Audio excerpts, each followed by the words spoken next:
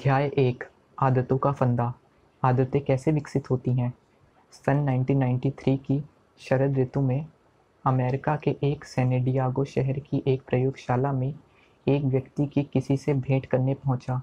यह वही व्यक्ति था जो आदतों के बारे में आज हमारी समझ को बदलने वाला था। वह नीले रंग की कमीज पहने हुए था। छः फुट लंबा बुज़ुर्ग व्यक्ति था। उसके सफ़ेद बाल इतने घने थे कि किसी महाविद्यालय की समारोह में सबके मन में ईर्ष्या पैदा कर दें। कठिया की समस्या के कारण वह जरा लंगड़ाता था। अपनी पत्नी का हाथ पकड़कर वह उस प्रयोगशाला के हॉल में धीमी गति से चल रहा था। मानो उसे पता ना हो कि आगे क्या होने वाला है। लगभग एक वर्ष पहले की बात है। यूजिन पॉली उर्फ़ ईपी लॉस एंजलिस शहर में समुद्र तट पर बसे प्लाया देल रे में अपने घर पर था। रात का भोजन बनाते समय उसकी पत्नी ने उसे बताया कि उनका बेटा माइकल उनसे मिलने आ रहा है। कौन माइकल? यूजिन ने प्रश्न किया।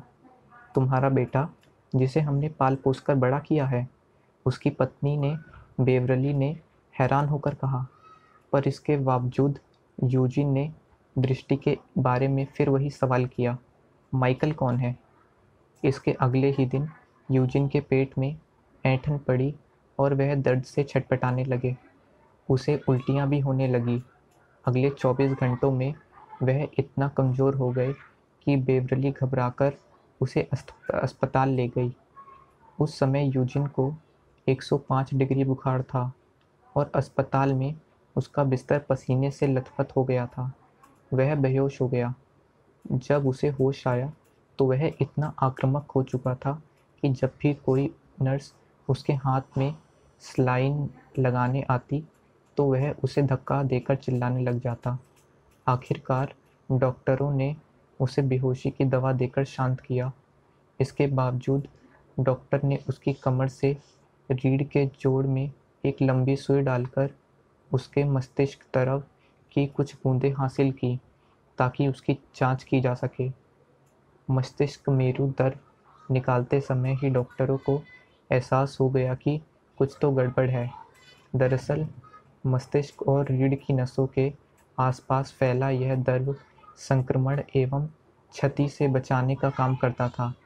एक स्वस्थ इंसान में यह दर्व बिल्कुल साफ़ होता है और सुई में रेशम सा बहता हुआ आता है, लेकिन यूजिन के मेरुदंड में पर्याप्त नमूनों का मटमैला था। और सुई में धीरे धीरे ऐसे टपक रहा था, मानो बालू के सूक्ष्म करणों में भरा हुआ हो। जाँच के परिणाम आने पर यूजिन के डॉक्टरों को उसकी बीमारी का सूक्ष्म बीमारी का कारण पता चला। यूजिन के मस्तिष्क में ज्वर था। उसे यह बीमारी अपेक्षाकृत कम खतरनाक माने जाने वाले एक वायरस की चपेट में आने से हुई थी। जो मुँह के छाले, बुखार के छाले और त्वचों के संक्रमण जैसी समस्याएँ पैदा करता है। लेकिन कुछ दुर्लभ परिस्थितियों में यह वायरस इंसान के मस्तिष्क में प्रवेश कर जाता है, जिससे उस इंसान के विचारों और सपनों से संबंधित कोमल हिस्सों का नष्ट कर देता है, जिसे कोई लोग आत्मा का निवास स्थान भी मानते हैं। इससे गहरी क्षति पहुँचती है। यूजिन के डॉक्टरों ने बेवरली को बताया कि यूजिन के दिमाग को जो क्षति पहुँची है, उसे ठीक करने का कोई उपाय नहीं है। लेकिन इस वायरस का, लेकिन इस वायरस को और अधिक फैलाने से रोकने के लिए वे यूजिन को एंटीवायरस की एक बड़ी खुराक दे सकते हैं। यह एंटीवायरस देने के बाद यूजिन कोमा में चला गया और कुछ दिनों तक मौत से जूझता रहा। लेकिन धीरे धीरे दवाओं ने अपना असर दिखाना शुरू कर दिया और आखिरकार उसका मस्तिष्क ज्वर ठीक हो गया। वह कोमा से बाहर भी आ गया। हालाँकि यूजिन का जीवन तो बच गया, लेकिन बहुत, वह बहुत कमज़ोर हो गया। उसे कुछ निकलने में भी तकलीफ़ हो रही थी। कोशिश करने के बाद भी वह एक पूरा वाक्य तक नहीं बोल पा रहा था। कभी कभी तो वह अचानक ऐसे हाँफने लगता, मानो कुछ क्षणों के लिए सांस लेना ही भूल गया हो। कुछ ही दिनों में यूजीन का स्वास्थ्य बेहतर होने लगा। डॉक्टरों ने एक बार फिर उसकी जाँच की। इसी जाँच के परिणाम देखकर डॉक्टर हैरान थे, क्योंकि यूजीन का तंत्रिक तंत्र, यानी नर्वस सिस्टम और शरीर शरीर का एक बड़ा हिस्सा वायरस के आक्रमण से सुरक्षित थे। वह अपने अंगों का प्रयोग सहजता से कर सकता था और आवाज़ व रोशनी आदि के प्रति सही प्रतिक्रिया दे रहा था। हालाँकि उसके मस्तिष्क की जाँच के परिणाम चिंताजनक थे। स्कैनिंग रिपोर्ट में डॉक्टरों को उसके मस्तिष्क के बीचों बीच एक धब्बा नज़र आया। दरअसल इंसान की रीढ़ और खोपड़ी जिस बिंदु पर मिलते हैं, यूजिन के शरीर के उस हिस्से के तंतुओं का वायरस ने नष्ट कर दिया था। हो सकता है कि यूजिन पहले जैसा ना रहे। एक डॉक्टर ने उसकी पत्नी बेवरली को सावधान किया और यह भी संभव है कि तुम अपने पति को खो दो। यूजिन को अस्पताल के दूसरे हिस्से में ले जाया गया। पहला सप्ताह समाप्त होने तक वह खाने पीने लगा था। अगले सप्ताह वह सामान्य रूप से बातें भी करने लगा और खाने में नमक व जल वगैरह मांगने लगा। इसके साथ ही वह टीवी के चैनल बदल बदल कर नीरस धारावाहिकों के बारे में शिकायतें भी करने लगा। पाँच सप्ताह बाद यूजिन को अस्पताल से छुट्टी देकर पुनर्वास केंद्र भेज दिया गया। उस वक्त यूजिन आराम से चलने फिरने लगा था। और साथ ही नर्सों को बिन मांगी सलाह भी देने लगा था। जैसे सप्ताह की अंत की छुट्टी बिताने के लिए, वह उन्हें कहाँ जाना चाहिए आदि। मैंने पहली बार इस बीमारी से ग्रस्त किसी मरीज़ को स्वस्थ होते हुए देखा है। मैं तुम्हें कोई झूठी उम्मीद नहीं बांधना चाहता, लेकिन यह वाकई अद्भुत है। यूजिन के डॉक्टरों ने बेवरली से कहा लेकिन बेवरली की चिंता खत्म नहीं हुई। यह बात पुनर्वास केंद्र में ही स्पष्ट हो गई थी कि इस बीमारी से यूजिन के अंदर कुछ असामान्य बदलाव आ गए हैं। जैसे यूजिन सप्ताह के दिन भूल जाता था बार बार बताने के बावजूद भी वह अपने डॉक्टरों और नर्सों के नाम याद नहीं रख पाता था। एक दिन जब डॉक्टर यूजीन के हालचाल पूछने के बाद उसके कमरे से बाहर निकल गया तो यूजीन ने अपनी पत्नी बेवरली से पूछा, ये लोग मुझसे ऐसे सवाल क्यों पूछते रहते हैं? घर वापस लौटने के बाद भी यूजीन में कई बदलाव नज़र आए। उसे अपने मित्र याद नहीं थे। लोगों से बात करते करते वह अचानक सब भूल जाता था।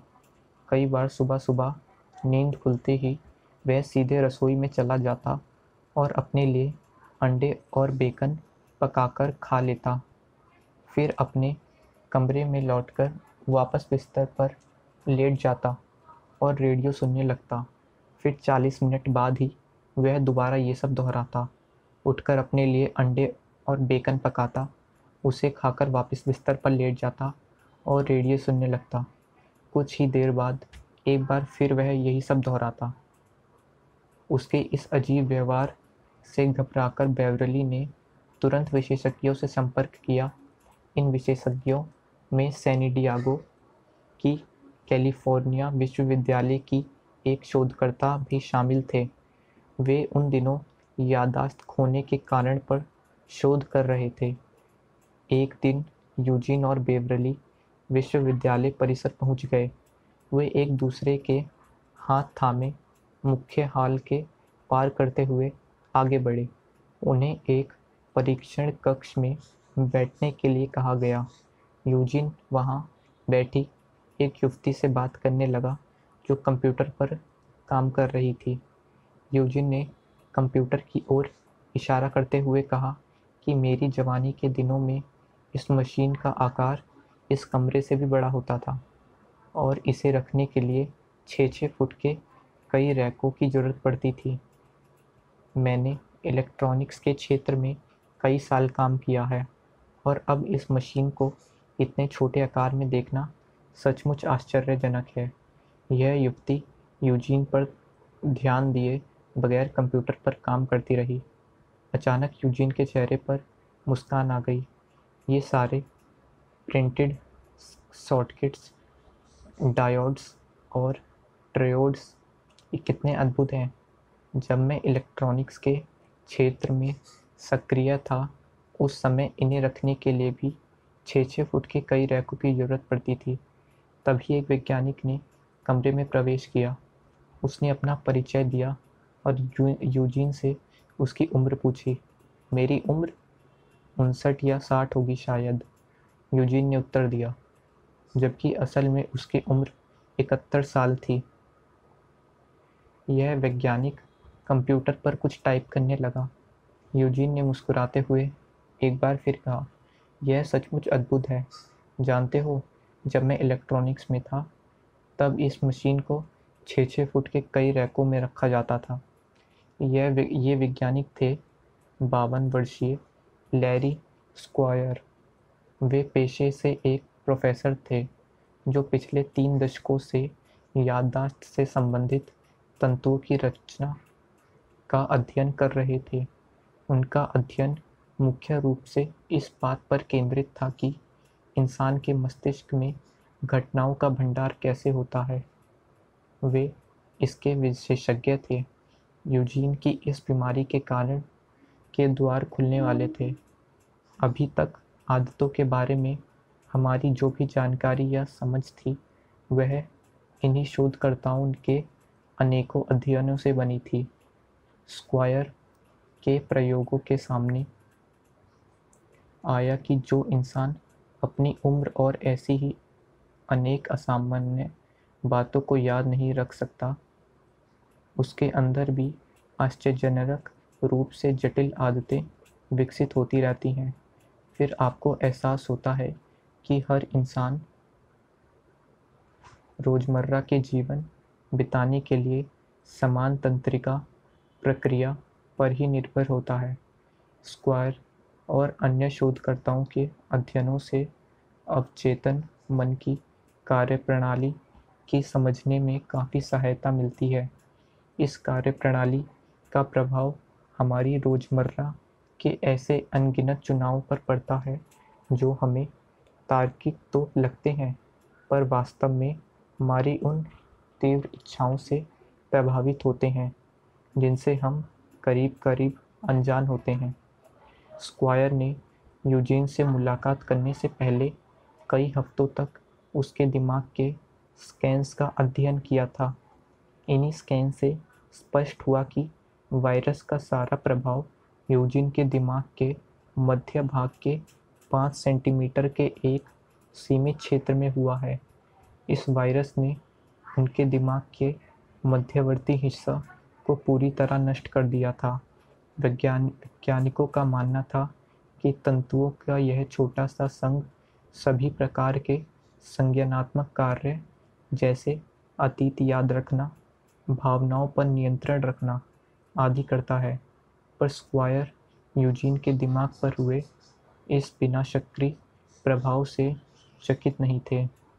वे जानते थे कि इस प्रकार का वायरस तंतुओं का अत्यंत करूर और सुनिश्चित तरीके से नष्ट करता है। स्क्वायर को बस एक ही बात से हैरानी थी कि एक अन्य व्यक्ति के स्कैन्स, यूजीन के स्कैन्स से हूबहू मिलते थे। हेनरी मलयोन एच का उदाहरण। तेईस वर्ष पहले जब स्क्वायर एमआईटी से पीएचडी कर रहे थे, तब उन्होंने एक समूह के साथ मिलकर डॉक्टरी इतिहास के सबसे मशहूर मरीज़ एचएम का अध्ययन किया था। एचएम का असली नाम हेनरी मलोर्जन था। जब एच एम सात साल का था तो साइकिल से गिरने के कारण उसके सिर पर गहरी चोट आई थी। इसके कुछ ही समय बाद उसे दौरे पड़ने लगे, जिससे वह बेहोश हो जाता था। सोलह साल की उम्र में उसे इतना गंभीर दौरा आया कि इसका असर उसके पूरे दिमाग पर हुआ। इसके बाद वह दिन दिन में दस से भी ज़्यादा बार बेहोश होने लगा। सत्ताईस वर्ष का होने तक एचएम पूरी तरह हताश हो चुका था। दौरों को कम करने की दवा का उस पर ज़्यादा असर नहीं हो रहा था। वह होशियार तो था, लेकिन अपनी स्थिति के कारण किसी भी नौकरी पर टिक नहीं पाता था। वह अपने माता पिता के साथ उन्हीं के घरों में रहता था। एच एम एक असामान्य जीवन जीना चाहता था, इसलिए उसने एक ऐसे डॉक्टर की मदद ली, जिसके अंदर नए प्रयोग करने की गहरी जिज्ञासा थी, और वह इलाज में गलती करने से डरता नहीं था। तब तक विभिन्न अध्ययनों से यह पता लग चुका था कि दिमाग के एक ऐसे हिस्से हिपोकैम्पस का संबंध दौरे पड़ने से होता है, जब डॉक्टर ने एचएम के दिमाग का ऑपरेशन कर उसके दिमाग के सामने के हिस्से को उठाकर एक छोटी नली द्वारा हिपोकैम्पस और उसके आसपास फैले तंतुओं का बाहर खींचने में प्रस्ताव दिया तो एचएम तुरंत सहमत हो गया। 1953 में एचएम का ऑपरेशन हुआ। ऑपरेशन के बाद वह जैसे जैसे स्वस्थ होता गया, उसके दौरे में भी कम होते गए। लेकिन उसके साथ ही यह भी सामने आई कि एचएम का दिमाग मालिक रूप से परिवर्तित हो चुका था। एचएम अपना नाम जानता था और उसे यह भी याद था कि उसकी माँ आयरलैंड से थी। उस 1929 में शेयर मार्केट का ध्वस्त होना और द्वितीय विश्व युद्ध में फ्रांस के नॉर्मंडी पर हुआ आक्रमण भी याद था, लेकिन वह इसके बाद के लगभग एक दशक की सारी यादें, अनुभव, संघर्ष सब कुछ भूल चुका था। जब एचएम की याददाश्त की जाँच करने के लिए एक डॉक्टर ने उसे अंकों की एक सूची और ताश खेलकर दिखाया तो उसे समझ आ गया कि एचएम किसी भी नई जानकारी को 20 सेकंड से ज़्यादा याद नहीं रख सकता। एच के ऑपरेशन से लेकर सन 2008 में उसकी मृत्यु तक, उसके लिए हर मनुष्य, हर गीत, हर कमरा, हर चीज़ पूरी तरह एक नया अनुभव था। उसका दिमाग समय के किसी भी बिंदु पर अटक गया था। वह हर दिन इस बात पर आश्चर्य करता था कि काले रंग से छोटे काले रंग के छोटे से आयताकार डिब्बे जैसे रिमोट कहते हैं। उसकी मदद से टीवी का चैनल बदले जा सकते हैं। दिन में दर्जनों बार वह डॉक्टरों और नर्सों को अपना परिचय देता था। स्क्वायर बताते हैं कि एचएम के दिमाग का अध्ययन कर, कर करना मुझे बहुत अच्छा लगा क्योंकि दिमाग के अध्ययन में याददाश्त एक ठोस और रोमांचक मार्ग है। मैं अमेरिका के ओहियो में पला बड़ा हूँ। मुझे याद है कि जब पहली कक्षा में था और हमारी टीचर हमें, हम सबको मोम की रंग बिरंगी पेंसिल, जिसे क्रेयॉन्स कहते हैं, बांट रही थी। मुझे जितने भी रंगों की पेंसिल मिली, मैंने उन्हें कागज़ पर एक साथ, एक जगह घिसकर, यह जानने की कोशिश की कि इससे काला रंग बनेगा या नहीं? मुझ यह, मुझे यह घटना तो अच्छी तरह याद है, लेकिन अपनी उस अध्यापिका का चेहरा क्यों याद नहीं है? मेरे दिमाग ने उसे एक याद को अन्य घटनाओं से अधिक महत्व क्यों दिया? स्क्वायर यह देखकर अचंभित थे कि यूजीन के स्कैंस एच से कितने मिलते जुलते थे। दोनों ने ही दिमाग के मध्यम भाग में अखरोट के आकार का धब्बा था। एचएम की ही तरह यूजीन की भी यादाश्त जा चुकी थी। एचएम और यूजीन में अंतर। इसके बाद जब स्क्वायर ने यूजीन के कुछ और परीक्षण किए तो पता चला कि एचएम और यूजीन में गहरा अंतर था। जैसे कि एचएम से मिलते ही पता चल जाता था कि वह अस्वस्थ है, जबकि यूजीन सामान्य बातचीत करने से लेकर कई अन्य कार्यों तक सब कुछ इतने आराम से कर लेता था कि आमतौर पर उसे देखकर उसकी असली स्थिति का पता नहीं लग सकता था। ऑपरेशन ने एचएम को इतना कमज़ोर बना दिया था कि उसके बाद उसे आजीवन अस्पताल में रहना पड़ा। दूसरी ओर, यूजीन अपनी पत्नी के साथ अपने घर में रहता था।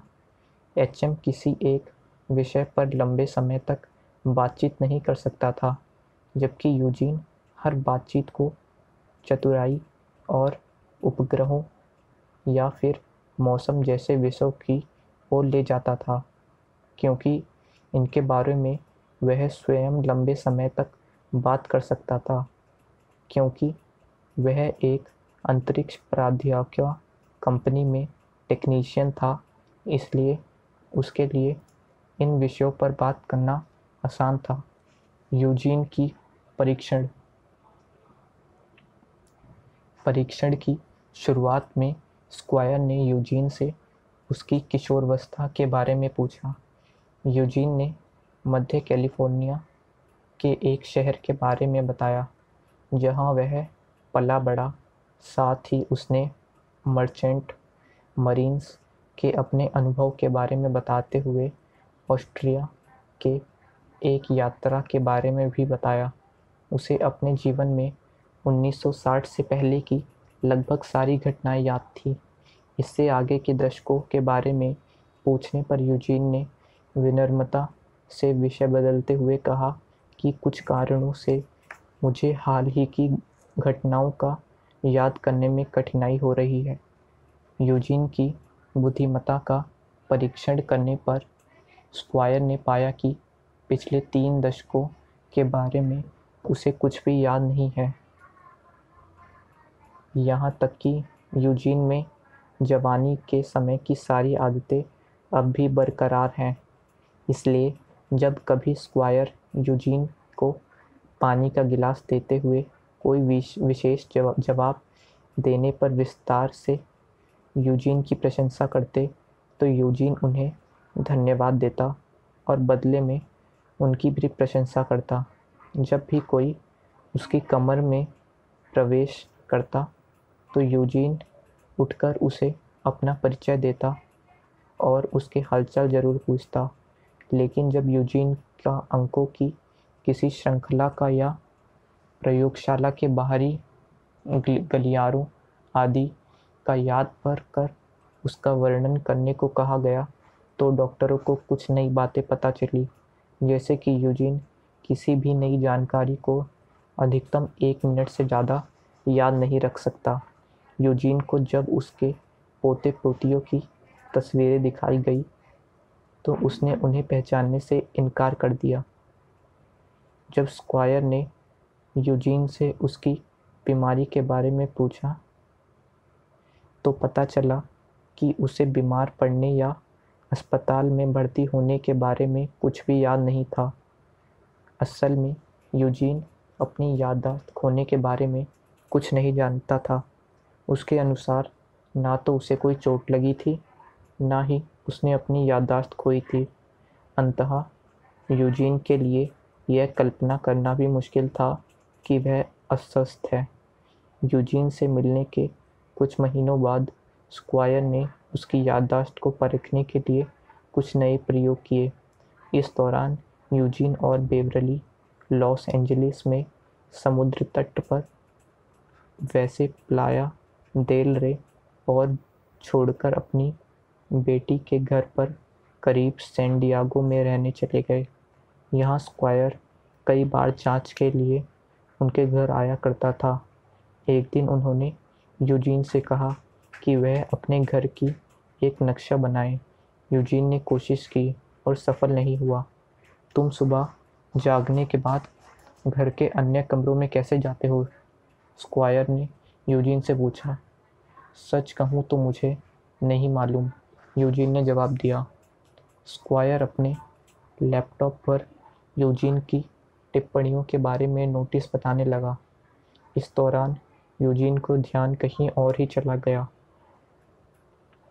वह कमरे में यहाँ वहाँ देखने लगा। फिर वह उठकर गलियारों की ओर गया और शौचालय चला गया। कुछ मिनटों बाद शौचालय से फ्लश की आवाज़ आई और फिर नल से पानी बहने की।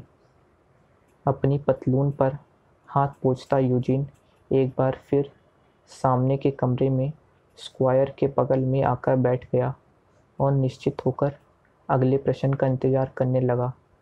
उस समय इस बात पर किसी ने ध्यान नहीं दिया कि जो इंसान अपने घर का नक्शा तक नहीं बना पा रहा है, उसने इतनी आसानी से घर का शौचालय कैसे ढूंढ लिया? आगे चलकर यह प्रश्न, इससे कई अन्य प्रश्न में हमें नई आविष्कारों के ऐसे रास्ते पर ले गए, जिसने आदतों की शक्ति के बारे में हमारी समझ को पूरी तरीके से बदल कर रख दिया। इससे एक ऐसी वैज्ञानिक क्रांति शुरू हुई, जिसके चलते आज हज़ारों शोधकर्ताओं ने पहली बार इस बारे में शोध कर रहे हैं कि इंसान के जीवन पर आदतों का क्या प्रभाव पड़ता है। कुर्सी पर बैठे यूजीन की नज़र स्क्वायर के लैपटॉप पर पड़ी। यह सचमुच अद्भुत है। जब मैं इलेक्ट्रॉनिक्स के क्षेत्र में काम करता था, तब इस मशीन को रखने के लिए छः छः फुट के कई रैकों की ज़रूरत पड़ती थी। नए घर में आने के बाद कुछ सप्ताह तक बेवरली रोज़ाना यूजीन को बाहर टहलाने के लिए ले जाने की कोशिश करती थी। डॉक्टरों ने बेवरली को यूजीन से व्यायाम करवाने की सलाह दी। इसके अलावा एक बात यह भी थी कि जब यूजीन दिन भर ही घर पर रहता तो पूरे दिन बेवरली से बार बार एक ही तरीके का सवाल पूछता रहता, जिससे बेवरली परेशान हो जाती थी। इसलिए बेवरली रोज़ सुबह, शाम यूजीन को टहलाने के लिए चौराहे तक ले जाती थी। वे दोनों हर रोज़ एक साथ ही उसी रास्ते से चौराहे तक पहुँचते थे। डॉक्टर ने बेवरली को यूजीन पर नज़र रखने के लिए कहा था। उन्होंने बेवरली को आगाह किया था कि अगर किसी दिन यूजीन घर से निकलकर रास्ता भूल गया तो ना तो वह खुद रास्ता ढूंढ पाएगा और ना किसी और से मदद ले पाएगा। अचानक एक दिन सुबह सुबह कुछ ऐसा ही हुआ। वह खुद सुबह सुबह कुछ ऐसा ही हुआ। दरअसल उस दिन यूजीन को टहलाने लेकर जाने के लिए बेवरली तैयार हो रही थी कि यूजीन अचानक घर के सामने वाले दरवाजे से बाहर चला गया, क्योंकि उस घर के एक कमरे से दूसरे कमरे में घूमने की आदत थी, इसलिए कुछ देर तक बेवरली समझ ही नहीं पाई कि यूजीन घर पर नहीं है। जैसे ही उसे इस बात का एहसास हुआ, वह दौड़ी दौड़ी घर से बाहर निकली और घबराकर यूजीन को यहाँ वहाँ ढूँढने लगी। उसे यूजीन कहीं नज़र नहीं आया। बेवरली उसे पड़ोसियों के घर ढूँढने लगी, क्योंकि मोहल्ले के सारे घर एक जैसे दिखते थे। इसलिए बेवरिल को शक हुआ कि वह गलती से किसी पड़ोसी के घर में तो नहीं घुस गया। वह पड़ोसी के घर पर जाकर बेसब्री से उनके दरवाजे पर घंटी बजाने लगी, लेकिन यूजिन किसी पड़ोसी के घर पर नहीं मिला। बेवरली इतनी घबरा गई कि उसे रोना आ गया। वह दोबारा सड़क की ओर दौड़ी और रोती हुई चिल्ला चिल्ला कर यूजीन को पुकारने लगी। बेवरली के मन में तमाम बुरे ख्याल आने लगे। कहीं यूजीन ट्रैफ़िक में फंसकर किसी गाड़ी के नीचे ना आ जाए, किसी के पूछने पर, वह घर का पता कैसे बताएगा? यह सब सोचकर बेवरली और घबरा गई। यूजीन को ढूंढते ढूंढते पंद्रह मिनट से ज़्यादा समय हो चुका था। जब यूजीन को कोई खबर नहीं मिली तो आखिरकार बेवरली पुलिस को फ़ोन लगाने के लिए घर की ओर दौड़ी। वह हड़बड़ी में दरवाज़ा खोलकर घर के अंदर आई और देखा कि यूजीन सामने वाले कमरे में आराम से बैठा टीवी पर हिस्ट्री चैनल देख रहा है। बेवरली को रोते देखकर वह हैरान रह गया। जब बेवरली ने यूजीन से पूछा कि तुम कहाँ थे तो उसने बताया कि मैं घर से बाहर कब निकला और कहाँ गया। मुझे कुछ भी याद नहीं है। उस समय यूजीन यह भी समझ नहीं पा रही थी कि बेवरली नाराज़ क्यों है। फिर बेवरली ने मेज पर पड़ा, देवदार को शंकुओं का ढेर देखा। उसे याद आया कि जब वह यूजीन को बाहर ढूंढ रही थी तो ऐसा ही ढेर उसने एक पड़ोसी के आँगन में भी देखा था। उसने करीब आकर यूजीन के हाथों को देखा। उसके हाथों पर उन शंकुओं का चिपचिपा रस लगा हुआ था। बेवरली को समझ आ गया कि यूजीन उसे छोड़कर अकेले ही टहलने गया होगा। और शायद चौराहे तक टहलने के बाद वापस आते समय ये शंकु उठा लाया होगा। सबसे बड़ी बात यह थी कि यूजीन सुरक्षित वापस लौट आया था। इसके बाद यूजीन रोज़ सुबह अकेले ही टहलने जाने लगा। वेवरली उसे रोकने की कोशिश करती, लेकिन यह कोशिश बेकार साबित हुई। बेवरली बताती है कि मैं यूजीन को घर के अंदर रहने के लिए कहूँ तब भी वह कुछ मिनटों बाद यह बात भूल जाता है कि कई बार तो मैंने इसे डर के उसका पीछा भी किया है। कहीं वह खो ना जाए, लेकिन वह हर बार सुरक्षित लौट आता था। कभी भी वह देवदार के शंकु तो कभी पत्थर उठा लाता था। एक बार तो वह रास्ते पर पड़ा किसी का बटुआ उठा लाया और किसी तरह एक बार वह कुत्ते का पिल्ला उठा लाया। पर यूजीन को कभी याद नहीं रहता था कि ये सब चीज़ें कहाँ से आई। जब स्क्वायर और उसके सहायकों के यूजीन के इस सैर सपाटे के बारे में पता चला तो वे सब हैरान रह गए। अब उन्हें संशय होने लगा कि यूजीन के दिमाग में उसकी चेतन स्मृति के अलावा कुछ और भी है जो सक्रिय है। उन्होंने एक नए प्रयोग का नमूना तैयार कर लिया। फिर स्क्वायर का एक सहायक यूजीन के घर आया और उसने यूजीन को अपने मोहल्ले का नक्शा बनाने के लिए कहा। यूजीन ऐसा नहीं कर पाया। फिर उसने यूजिन के उस मोहल्ले का एक नक्शा दिखाया और उससे अपने घर अंकित करने के लिए कहा। यूजीन कुछ देर तक तो आड़ी तिरछी लकीरें खींचता रहा। फिर वह भूल गया कि उसने क्या करने के लिए कहा गया था। फिर जब सहायक ने उससे पूछा कि घर में रसोई किस तरफ़ है, मैं नहीं जानता। यूजीन ने कमरे के चारों ओर देखते हुए कहा, जब तुम्हें भूख लगती है तो तुम क्या करते हो यूजीन? सहायक ने उसके सवाल को पूछा। इस सवाल के जवाब में यूजीन खड़ा हुआ, चलकर रसोई घर तक गया और ऊपर की अलमारी में रखा मूंगफलियों का डब्बा ले आया। एक अन्य सहायक यूजीन के सैर के दौरान उसके साथ गया। दक्षिण कैलिफ़ोर्निया के कभी न बदलने वाली बसंत के खुशनुमा मौसम में वे दोनों बोगनवेलिया की सुगंध से महकती हवाओं के बीच करीब पंद्रह मिनट तक टहलते रहे। यूजीन ने ज़्यादा बातचीत नहीं की, लेकिन वह पूरे आत्मविश्वास के साथ आगे बढ़कर स्क्वायर के सहायक का रास्ता दिख रहा था।